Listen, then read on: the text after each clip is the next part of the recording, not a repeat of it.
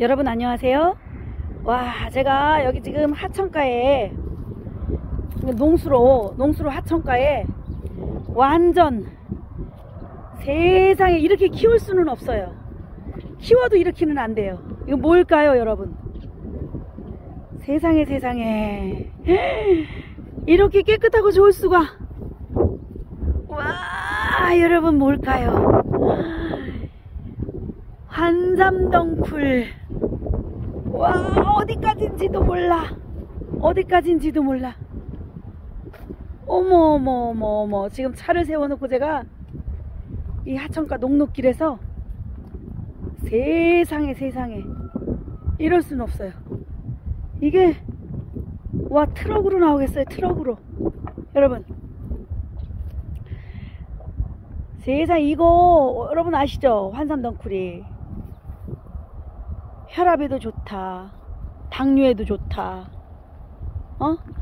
그 다음에 항암에도 좋다 폐에도 좋다 안 좋은 데가 없잖아요 여러분 이거 요거를 요 윗수는 따가지고 나물로 드시면 되거든요. 요, 요 위에 거 나물은 요거 똑똑 끊어서 요거 나물로 드셔요. 요것도 연해요. 요런 거. 그러니까 연한 부분까지는 다 지금 나물로 드시고 요런 것도 가루로 내셔도 되고 요것도 지금 깻잎처럼 저는 깻잎처럼 해서 먹거든요. 요거.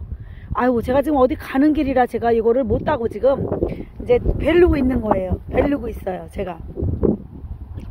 이거 얼른 와서 딸라고 지금 벨르고 있는데 아우 이거 어떻게 하면 좋아 이거 이거 여러분 이거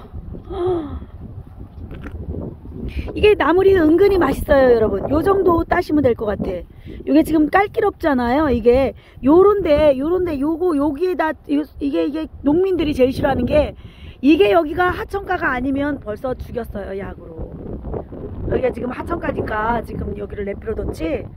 이게 여러분 이것만 쭉 있으니까는 이것만 쭉 있으니까 이쁘네요. 이뻐. 근데 이게 여기에 스치 이게 살에 한 번만 스쳤다. 그러면 그냥 상처가 나요 이게 여러분 이게. 근데 요 정도만 지금 따가지고 나물로 해서 드시고 요대로 장아찌를 담궈서 요거 데쳐서 데쳐서 물기를 삐드삐드 해서 물기를 없앤 다음에 그 다음에 장아찌를 담글 때 딱 요 정도. 요 정도 좋아요 여러분. 응? 제가 알려드릴게. 어, 아주 이 줄기도 질기지도 않고 딱 좋아 여러분. 여기가. 요 정도가 딱 좋아 자 요렇게. 요렇게 해서 드시면 요 정도가. 그리고 요것도 또 차로도 드셔도 되지만 전초는 다 전초를 말려서 차로 드시죠.